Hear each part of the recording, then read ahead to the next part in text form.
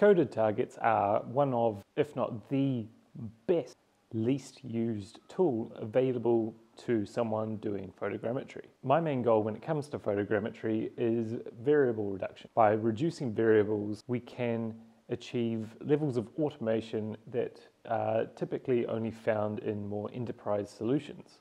The more variables you have, the less you can automate. Some examples of variables may be the scale of the object or the rotation of the object relative to the world that it sits in. For example, you don't want to scan a building and have that building end up at a 90 degree slant or 102 degree slant. By using coded targets, we can get rid of any uncertainty when it comes to the scale, rotation, or even orientation of that object. Further variables that you could reduce could be things such as the size of the intended scan area. You could place down coded targets intended to be defining the outer borders of a bounding box to be used for reconstruction. By using coded targets and scale bars at capture time, we can reduce the number of overall variables contained within our scene significantly. So in this two-part video series, I'm hoping to teach you everything you need to know about coded targets, scale bars, and how these simple tools can help you automate, quality check, and structure your data sets in the most effective way possible. So let's jump into part one. What are coded targets and scale bars? So to begin this, first we're going to need to understand the tool that we're going to be using to scale our photogrammetry alignment and that is the coded target. This is going to be a very simplified explanation, however, I hope it conveys uh, at least the basics behind what it is and why we use them. So a coded target is a black and white pattern. It's visually similar to a QR code in most cases. There are different target types and we'll briefly cover that later. So coded markers come in two main varieties that we use for photogrammetry. Now for the sake of simplicity, I'm going to be talking exclusively about April tags later. However, circular coded targets exist. They are used primarily in a lot of commercial applications and they've got a lot of legacy with applications like uh, Agisoft Metashape. However, these days I find it best to use April tags. They're supported by almost everything and the April tag system or ecosystem behind it is available on a BSD license, so you can use it commercially. Anyway, let's get on to it. So there are three key features with April tags that you should know about. So this largely applies also to circular targets, however there are some differences. First of all, the target family. So a target family is all targets of a given type. Uh, these are made using uh, an algorithm to generate now, to detect these targets, we need to define what target family we are detecting. So you can only really use one target family within a data set unless you're wanting to rerun the target detection tool over and over again for every other target family that is contained within your data sets. So the April tag has a known center point. This is defined by the outer four corners of the black square and then finding the intersection point between those four corners. Coded targets are defined by the data that is contained within each one and a family is defined by the bit depth of the target as well as the Hamming distance. For April tags, this data is stored as alternating black and white checkers within the overall black square that defines the target's shape. So first up we have the bit depth. This is defining how much data can be stored within each target. In the case of the 16H5 family, we have 16 bits of data. In the case of the 36H11 family, we have 36 bits of data. 16 bits of data can contain roughly 65,000 unique IDs. 36 bits of data can contain 68 billion unique IDs. So we've got a lot of potential data within each tag. However, we need to make these tags truly unique, and that's where the Hamming distance comes in. So that's the last part of that name.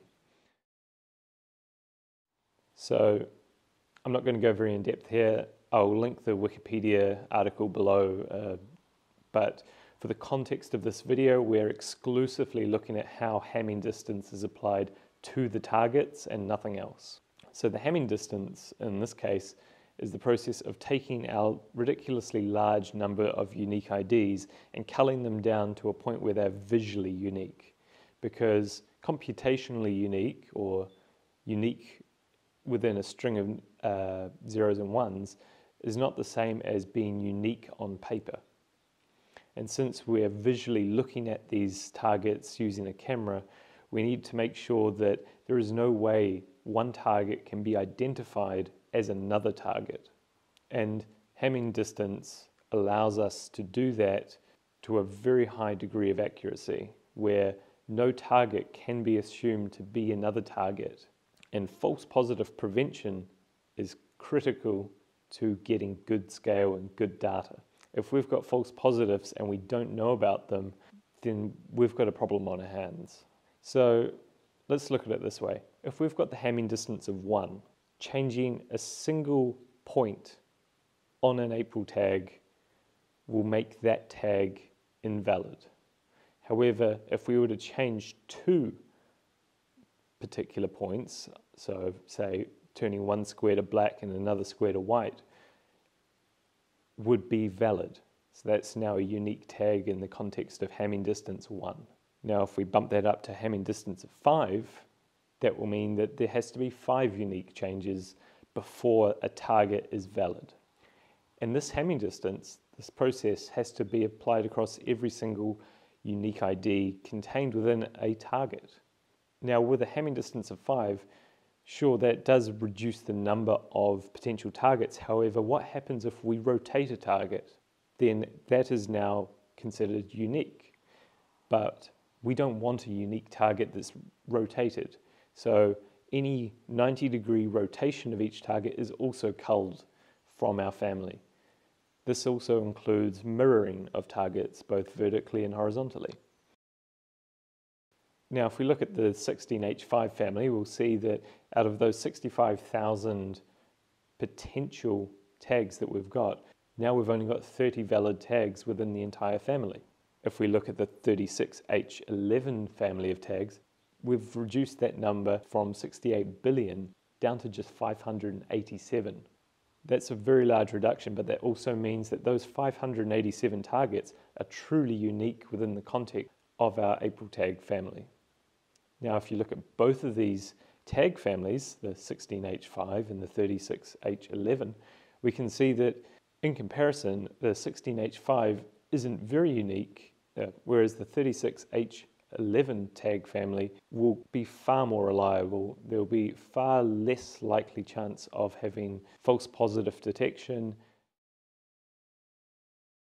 Let's just discuss false positive because where a 36H11 tag might have denser target point, we'll find that the 16H5 tag family might produce a lot more false positives in the context of noisy surfaces because since there's far fewer unique points within each tag, the chance of those unique points forming in nature, say on a noisy rock, is far greater. That fine noise, that sharp fine noise within each image can be detected as a target, and we don't want that. So I tend to always go with a vastly higher Hamming distance and bit depth tag than would theoretically be necessary for the most cases. So as we can see, coded targets can be detected and placed within our photogrammetry alignment uh, with relative ease. But that doesn't help us with scale, position, orientation, rotation. The next step is to utilize a process called ground control points. I'm not going to explain the naming behind that. It's got a lot of legacy to it, uh, which you can find on Wikipedia as well. The gist of it is it's the process of assigning a 3D coordinate to an unconstrained point within space. Let's break it down and I'll show you how you can control a alignment or a scene using these ground control points. Assuming we've placed a target within a scene and you've gotten a good capture of that, so you've got that point. If we were to assign that point 3D coordinate, as an example, um, x0, y0, z0, then this point would be exactly at that point in space. So in this case, it would be the origin of our 3D space, 0, 0, 0. However, but that does not help us with scale, rotation, or orientation within our 3D space. There is only a single known point. Now, if we were to add a second control point to our scene, a second target that we know the coordinates of, and we place that within our scene, we get this. We get two points a known distance away from each other. We can assign the second point a new coordinate, for instance, x0, y10, z0.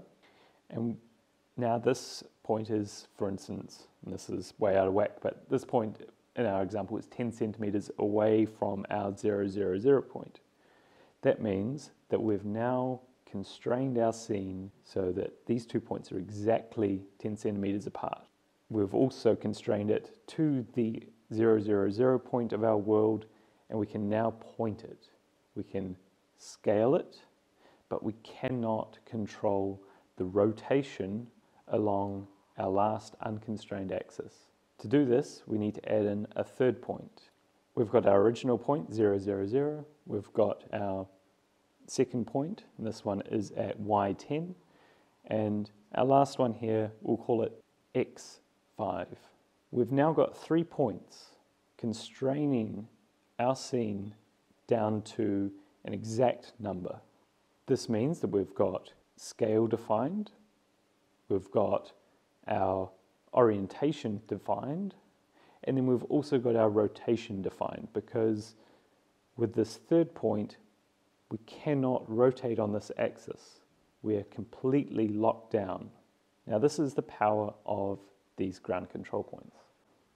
So let's look at practical examples of a scale bar in a production setting.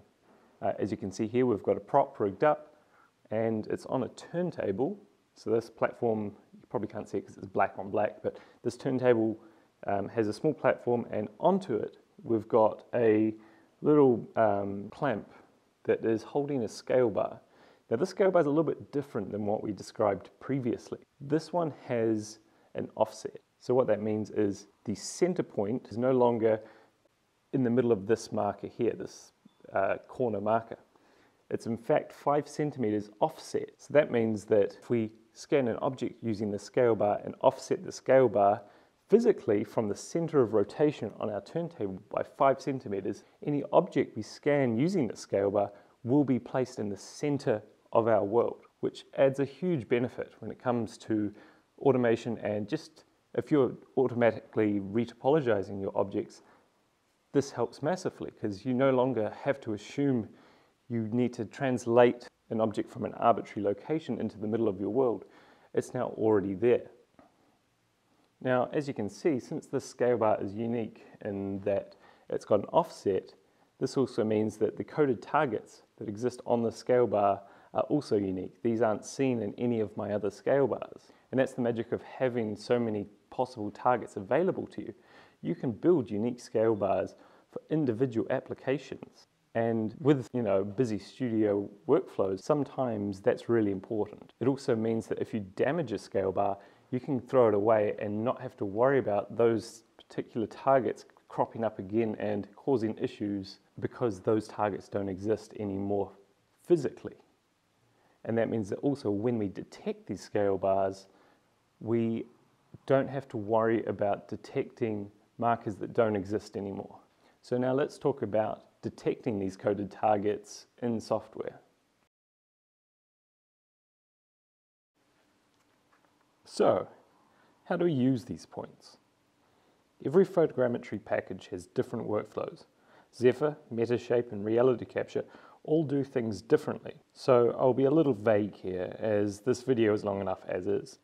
But in essence, you select the target family that you used within your dataset and run the auto detection tool, which should spit out all found targets as control points. It's best to set a minimum number of detected targets that qualify for control point placement, as this will help prevent false positives.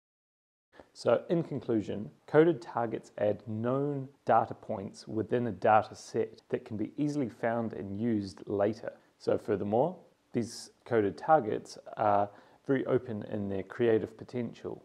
There is no immediate barrier to stop you from either developing a tool which uses this data further or even just creatively uses the data within your photogrammetry package of choice. And the use of coded targets for scale and transformation and rotation control with the use of scale bars is incredible. They're very easy and efficient to use both at capture time and when you're back in the studio. So I should probably end it here. Uh, this video's gone on long enough. I did not expect it to be this long. Seriously, I planned for eight minutes and here we are probably 15 minutes later. Now, I've got a part two coming soon. Uh, if you're watching this in the future, you can find it immediately.